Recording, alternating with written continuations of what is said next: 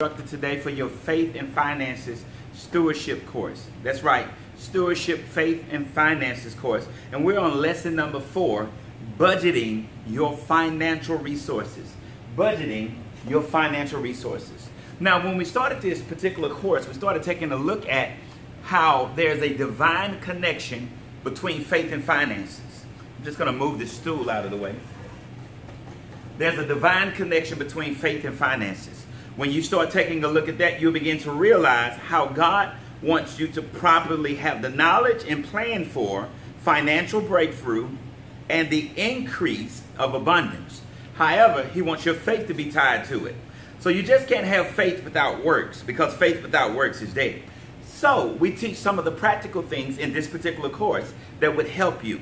Now, let me say this. When we're talking about growing financially, when we're talking about increasing in wealth. You cannot be serious. You are not serious about wealth and stewardship if you don't have and follow a budget. If you don't have a budget and you don't follow your budget, you're not serious about wealth uh, increasing in wealth and abundance. No.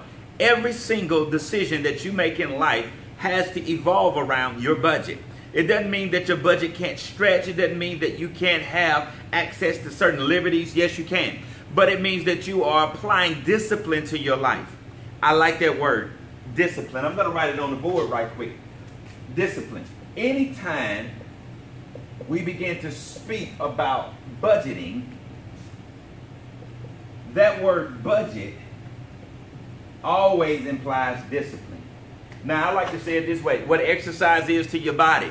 You can't be serious about getting in shape and building your muscles if you don't work out. You can't be serious about losing weight if you don't diet. Well, you can't be serious about gaining wealth if you don't budget. The same thing exercise is to your body, the same thing that dieting is to your weight, the same thing that budgeting is to your finances. It's discipline. It's an important point of your growth and financial breakthrough that you begin to learn and apply discipline. Now, we're going to start off talking about the value of financial planning. There's a valuable lesson that we need to learn about planning financially. You need a plan. Go ahead and write that down. I need a plan. I need a plan. It's important that you understand that. That without a plan, you don't have, the plan always involves two things. Number one, it, it involves a goal Number two, it involves steps. Without a plan, you don't have a goal, a destination to arrive to. And without a plan, you don't have the steps how to get there. So, fi financial planning is very important. Fill in your first blank. Financial planning helps you use your money to get the most out of life. Financial planning helps you use your money. You have to get to the place where you begin to walk in discipline and establish a plan so that you will not allow money to use you, but you will use your money so that you can get the most out of life. They got very few people, uh, not very few people, they have some people that are in the body of Christ that had that speak very negatively about money or about increase or about finances or abundance. Uh, I've had some money, I've been broke. I tell you, having money is a lot better. Glory to God. And I've been in those positions where I had where I had to come to grips that God wants me to have wealth. But he doesn't just want me to have it. He want me to he wants me to do it the right way. I need a plan. So these people that are in the body of Christ that speak so negative about money, I have a question.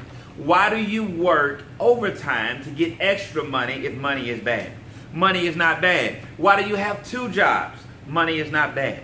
No, money has a, uh, a neutral position. It's the love of money that's the root of all evil. So you have to make sure that you don't let money use you, but you use money. How do you do that?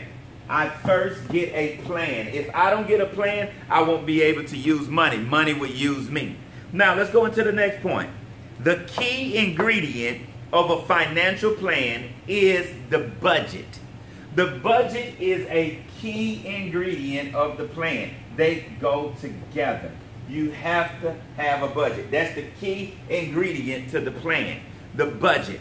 You don't have a serious plan if it doesn't involve a budget And you're not serious about your plan if you don't follow your budget. See, your budget is not designed to be long term, it's designed to be short term. It's designed to get you to the goal through certain steps.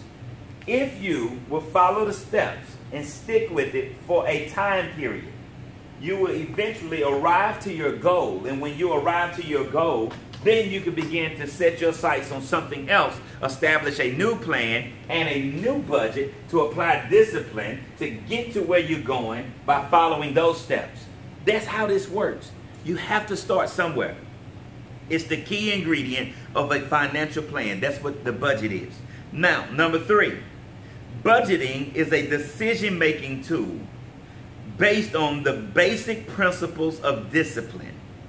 The basic principles of discipline. Now, there are three other blanks right there, so we're going to write them in right quick. I'm going to I'm to erase this for a second, just for a second. I want to show you uh, they go in those blanks.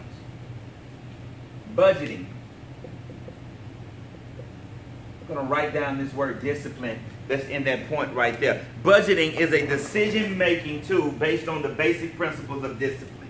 Now, when I talk about discipline, fill in your blanks with this. The next thing, I'm going to need patience. That's the first thing you fill in your blank. After that, I'm going to need wisdom. And then I'm going to need cost. That's what budget is. That all of this is your budget. It is discipline in these areas right there. It is discipline, patience, wisdom, and excuse me, not just cost, opportunity cost. That's what the budget is. The budget is that's that's the blank right there you fill in. Patience, wisdom, cost, opportunity cost. That's the budget. I need discipline if I'm going to grow financially. But if I don't have patience, I won't be able to grow financially. I have to be patient. I have to work my way with it. Not only am I have to be patient, wisdom. I have to have wisdom. I got I have to apply wisdom when to do, when to say, and then there's cost. I have to make sure that I, I, I operate with opportunity cost. That I buy at the best time possible to get the most out of my dollar. That's the value of financial planning. Now we're going to talk about the purpose of a budget. The purpose of a budget is simple. To understand the purpose of the budget, you must understand the following terms that are listed below. Now, one of these terms are not in your book at this moment. One of these terms are not in your book at this moment, but I want you to write it down on the side. The first one is write it on the side earned income. Earned income. I want you to write it down. Earned income. Now, earned income is this earned income is income from wages, salaries, fees, things like that. Money that you get from your job, money that you get every month from the government, money that you get from anything else, it is earned income. That's earned income. So if you get it from rental properties, or if you get it from fees, or if you get it from um, royalty checks, or whatever it is, you have earned income. Now the second thing that I want to point out is number number two. The second thing I want to point out, earned income, and then you have unearned income.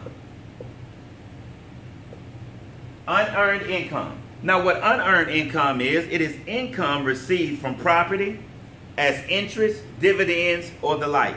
It is income that is received from property, dividends, or the like. In other words, this is money you work for, this is money you don't work for, excuse me. This is money that you receive from interest, dividends. This is called passive income. This is aggressive income that I have to physically go there and do it. Passive income is money that comes to me that I don't actually have to work for. That's unearned income. That's unearned income. Now, the next one that I want you to write down is fixed income. Fixed income. Fixed income is gaining or yielding a more or less uniform rate of income. In other words, you're going to get this same amount every single time, every single week, or every single month, and it's going to be this exact same amount, and it's a fixed income. That's what it is. Most people that receive government funding and things of that nature, they receive fixed income. They may get $900 uh, every two weeks or every month um, that, that comes from the government, and they receive it on a fixed income. That means that your income is already lined out for you, and it's going to be the same way every single time. That's fixed income. Now, the next one, which is important, is vari- va- va- valuable. Excuse me, I couldn't get it out. Valuable income. Fill in that blank. Valuable income. This is what variable income is. Gaining income that varies in amount. That is, that one week I might receive 400 and the next week I might receive 900 and I might receive 300 and I might receive 1200. It is called variable income. So you have earned income, money that you actually work for. Then you have unearned income, passive income, money that you don't work for but it still comes your way. Then you have fixed income, the same amount of money at a set rate and set pace. Then you have variable income, income that changes in dates and times and amounts. That's variable income. Now, the purpose of the budget is to do a number of different things. Now that you know the type of income bracket, because you have to know which income bracket you fall into. Are you earned income, unearned income, fixed income, or variable income? You have to know which one you fall into so that you can properly plan for the budget. Now, the purpose of the budget is to do three things. Number one, it is, or point A, it is to identify the sources of income. And identify where do you get money from. Where do you get money? Where does money come from? You need to know that if you receive a check as a musician, as well as you work somewhere else, or if you receive um, royalty dividends, or if you receive anything like that, you need to identify the sources of income. You need to know where is your money flowing from. When the Bible talks about in the Garden of Eden, um, in, the, in the book of uh, Genesis, it talks about the rivers that flowed to, to the garden. Now, I said they flowed to the garden. They know where they came from to where they were going. You have to know, identify your sources of income. The point being, you have to identify the expenses. Not only do I need to know where are the streams of income coming from, I need to know where are my streams of income going out. Where are they headed? Where am I? Where, where are they directed? Where am I spending my money? What are my categories of expenses? Now, I, I would advise you to begin to build categories. As you begin to build categories, this is what you do so that you can identify your streams of income. Put it over there. You, you might want to say, uh, um, you might want to say um, bills. We'll just say that. That could be mortgage, um, utilities, all of that. We'll just say that's in a category. Then we might want to say uh, food. That's a category. Then we want to say miscellaneous. That's a category. Then you can begin to find out exactly where's your money going throughout the uh, month. Now you know where your money is coming from and you know where your money is going so you can begin to have those categories in place. You have to identify the expenses. Now point C is simple. Distinguish between fixed and variable income and expenses begin to take a look at it, this is how you do it. I'm going to show you what I mean. Distinguish between fixed or variable incomes and expenses. Uh, let's take a look. Your income. Here, your expenses. Here. Let's say you receive 2800 a month Let's give you that modest amount right there. You receive $2,800 a month. Now you have to take a look at it, and you see that you spend 3,100 a month. Now you know that you're spending more than what you're bringing in. You know that. So now you get an operating percent, percentage. Distinguish between fixed and variable income and expenses. Establish limits and boundaries of operation. How do I get this down? Because the reason I feel like I'm broke is because I am actually spending more money. I have more money going out than I have coming in. So in times like this, what we normally do, we begin to add another job, a, a, a second opportunity job, and we'll just say 1200 We'll add a second job to it right there. Now, when we get here with this 1200 what we have now is 4000 a month that we're bringing in, but we're spending all our time working for it. Now, because I have not developed discipline, I have more money So I add more money to my spending. And I'm still spending more, so I'm spinning my wheels. And I'm wondering, how did I get to this place? How do I, I have more money? Why am I not operating? Because I'm living like it. Or why can I see it? It's because you didn't apply discipline back when you had this amount. You have to learn how to get your expenses down. You have to get your expenses down. So establish limits and boundaries of operation. Begin to establish and say that I'm only going to spend a certain amount in, in food. This is my budget for food. This is my budget for bills. How can I get my bills down? Maybe you don't need cable. Maybe you'll go with just Wi-Fi. And there are some there are some places out there that you can get. I know for a fact that I don't have cable anymore. I have Wi-Fi now. All I have is Wi-Fi, and I had it now for the past year or so, where I have nothing but Wi-Fi, and I use what is called Sling TV. Now I pay maybe fifteen dollars a month for Sling TV. I maybe I maybe pay a certain amount of money for the Wi-Fi, but I'm able to condense it and bring it down some. Now we're going to take a look at this next point. The enemy of your financial plan. Your financial plan has an enemy. I don't care if you get a plan, it has an enemy. Here's the enemy. The enemy of any financial plan is simple. It is impulse buying. It is you breaking your budget because of something you saw that looked good. It is impulse buying. It is you buying out of impulse. It is you just branching out, buying out of impulse. It is impulse buying. Now, impulse is this.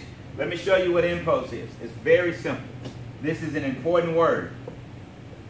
It's called impulse buying for a reason. That's not a good thing. So don't smile when we say that you're an impulse buyer. It's not a good thing. Impulse is defined as the influence of a particular feeling the influence of a particular feeling. It is you feeling a certain way and you just jump out there and you can't wait and you just dive in full stream ahead and you got to buy it right now. It's not a good price. It's not a good time. It's outside of your budget and it's going to put you in a deficit, but you still buy it anyway. That's impulse buying. The second thing impulse is involuntary emotions and thoughts that prompt a certain action. Involuntary emotions and thoughts. It is me being ruled by my soul and not walking in discipline in my spirit.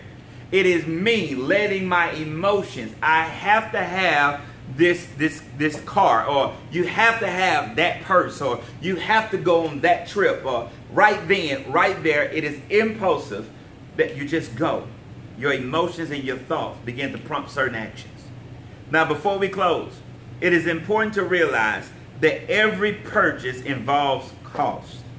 Every purchase involves cost. Never, never make a purchase without analyzing cost and benefits. Never make a purchase without analyzing cost and benefits. This is what I mean by analyzing cost and benefits. Fill it, fill it out. To understand, and understand analyzing cost and benefits, one must compare prices. You have to compare prices you have to go and you have to take a look at it. And sometimes you can just do this on your phone. You can look up this particular brand of, of pants or suit or jeans or shoes and find out where you can get it at a more affordable price at. You have to analyze cost and benefits. Take the time to research the prices, compare the prices to understand the value. The key to wise purchases is to purchase, purchase with your budget in mind and to do your research. Purchase with your budget in mind and do your research. Your budget is your way out of a financial hole. Listen to what I just said. Your budget is your way out of a financial hole. Your budget is your way out of a potentially bad financial decision. Your budget is your way out of financial lack and into financial abundance. This thing called a budget should become your best friend. This should be your best friend. Your budget should be your best friend. I pray that this class lesson has blessed you and helped you. Again, this is the stewardship.